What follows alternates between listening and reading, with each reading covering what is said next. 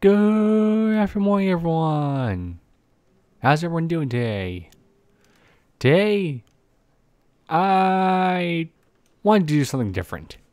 Just wanted to show off uh, my house I've been working on. I felt, felt like a little proud of what I've done with this house. Nothing too, too insane.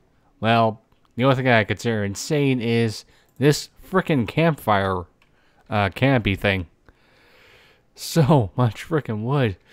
Oh, but anyways, let's start with a base tour. All right, so first start is I've got a little uh, farm down here at the bottom.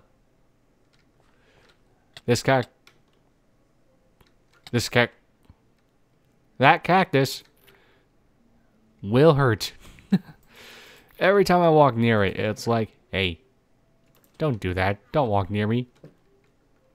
I have feelings. Well, I've got feelings too, cactus. I have feelings too. Ooh, um, over here is where I have like all my mod crops. Over here is where I have like all my vanilla stuff. And a mini sugarcane farm. Nothing crazy. And over here, I have no idea what I'm going to put over here. Like I said, this base is a work in progress. Um, I had a little bit of fun with the leaf, with leaves, and the droopage. Oh, right here's my mine cave. Just had a little bit of fun with this. Um, this house got inspired off of a picture that I found on Google Images. I don't remember what the name was, but I do remember Googling something like river or houses or something like that. Over here, here I'm just gonna keep it simple. This is like a uh, kind of like a nice little uh, open area for my uh, for me to just walk out onto. Over here's the living room, open area, and here's gonna be like a storage room, and over here is gonna be like where I put most of my machines. Uh, up this ladder over here here I've got my little bedroom, actually. So yeah, machine room, storage room, just relaxing, open area, um, living room. Oh, the best part. Hit sneak, and boom, hot tub in the living room. Do you have that? Because I sure don't. But let's be honest here, who puts a hot tub in a living room? It's like the worst spot ever.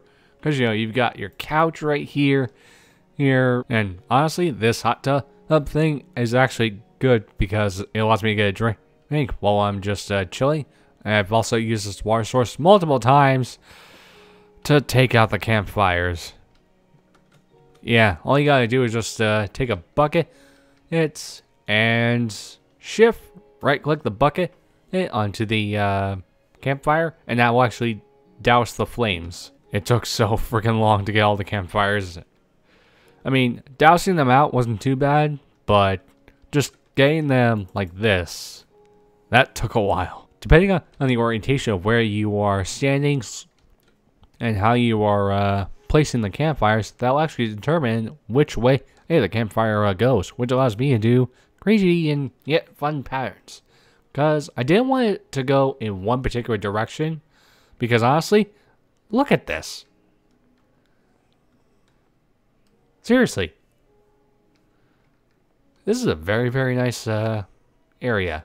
And I wanted to really like complement that. Just to go with it. And the leaves I used just to help me break up the desert a little bit, as well as the ocean over there. Uh, oh, best part, Slime Island, right frickin' there. But yeah, that's my whole base. Oh, and Tinker Smeltery, just because the only downside to my base is I get lots of friends on nightly basis. And that's all I got for now, guys. Hope you guys enjoy it. Please leave a like if you liked it. Eh, don't forget to hit subscribe for more of this. And have a good one. I'm going to try and stay alive. Bye-bye.